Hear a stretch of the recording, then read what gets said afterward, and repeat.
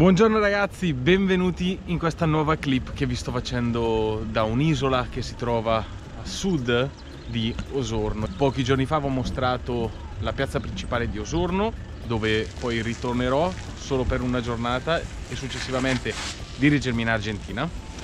Però quest'oggi ragazzi voglio mostrarvi qualcosa di particolare. Dietro di me potete vedere un monumento neanche molto attrattivo onestamente, però per quanto mi riguarda ha un qualcosa di particolare.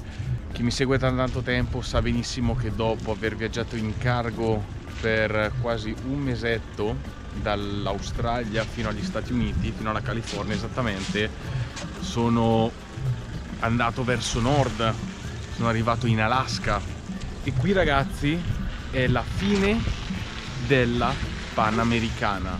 Qui all'isola di Chiloé, esattamente a Ito Sero, si trova la fine della Panamericana. Dietro di me potete vedere il mare. Qui è l'ultimo pezzo di strada asfaltata, il monumento con i quattro punti cardinali. E questo ragazzi è il cartello che dice esattamente quello che ho appena detto. Questo è un monumento simbolico che rappresenta la fine o l'inizio della strada panamericana che da Anchorage, Alaska, arriva fino a Keyon, Cile, per più di 21.000 km nel continente americano. Per me questa è una grandissima gioia non mi fermerò qua non sono assolutissimamente intenzionato a finire qui il mio viaggio in Sud America ho ben altre aspettative ho ben altre cose in testa e vi spiegherò tutto a tempo debito. Però questo devo dire che è un gran modo per terminare questa strada mitica questa strada famosa che si interrompe solo tra Panama e Colombia nel Darien Gap. Adesso vi faccio vedere un attimino il luogo vi faccio vedere anche il mare. Sono emozionato perché comunque qui si parla di quasi due anni di viaggio e li ho visti tutti quei posti dove taglia la Panamericana. Alaska, Canada, Stati Uniti, Messico, Guatemala, Honduras, El Salvador. E si continua. Nicaragua, Costa Rica, Panama, Colombia, Ecuador, Perù e infine il Cile. Quindi oggi ragazzi vi voglio mostrare il luogo dove finisce, dove di fatto finisce la strada panamericana. Questo è il monumento che ho fatto vedere già ad inizio video. Il cartello ve l'ho già mostrato. Sono veramente molto a sud e come potete vedere c'è gente a mezze maniche tutti sono fuori all'aria aperta questo significa che la primavera ragazzi sta arrivando.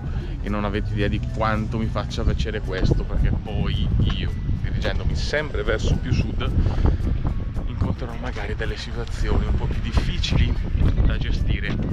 Però, però sono molto fiducioso perché il bel tempo poco a poco sta arrivando. In questo momento sono entrato nella spiaggia ragazzi il paesaggio è completamente cambiato nell'ultima settimana da grattacieli metropolitane strade a destra e a sinistra. Mi sono immerso nel verde e nella natura incontaminata che è quello che mi piace veramente. Sono stato a Santiago del Cile come vi ho già detto solo per motivi di organizzazione e non per piacere. Questa è la spiaggia bellissima per farsi un paio di camminate qualche chilometro rilassarsi ascoltare le onde del mare. Ed è veramente una bella sensazione. Come una bella sensazione quello che avevo detto poco fa il fatto di essere riuscito ad arrivare dall'Alaska perché sono addirittura partito più in alto di Anchorage.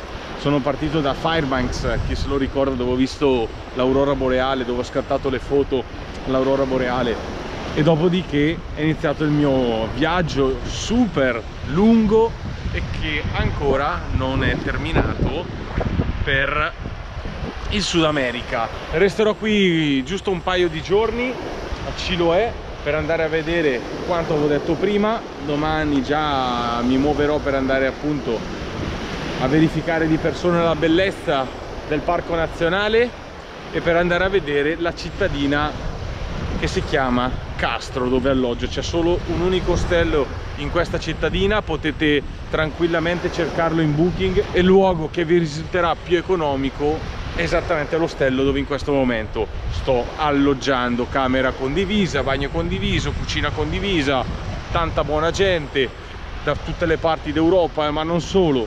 Per cui è un luogo che mi è già piaciuto anche se comunque l'ho vissuto per poche decine di minuti perché come sono arrivato mi sono buttato in strada per prendere due pullman uno che ho pagato 2000 pesos cileno che da Castro mi ha portato fino a Keyon 2000 pesos cileno si sta parlando di poco meno di 3 euro e poi da Keyon fino a qua fino a Quito Sero e il pullman l'ho pagato 400 pesos cileno 50 centesimi di euro.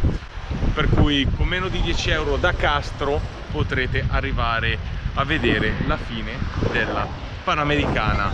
Altro discorso poi da Osorno fino a Castro dove il prezzo del biglietto l'ho pagato 8.000 pesos e comprende anche un viaggio in battello perché comunque tra la terraferma e questa isola bisogna prendere un battello molto interessante che con un giorno come questo vi permetterà di vedere tutte le montagne innevate, tutta la cordigliera ed è qualcosa di veramente emozionante. In pullman ce ne sono tantissimi, io ho pagato 8000 pesos se credo che sia la compagnia più economica. Questo è quanto amici, dalla fine della leggendaria strada panamericana è tutto, ci vediamo in Argentina. Ciao amici!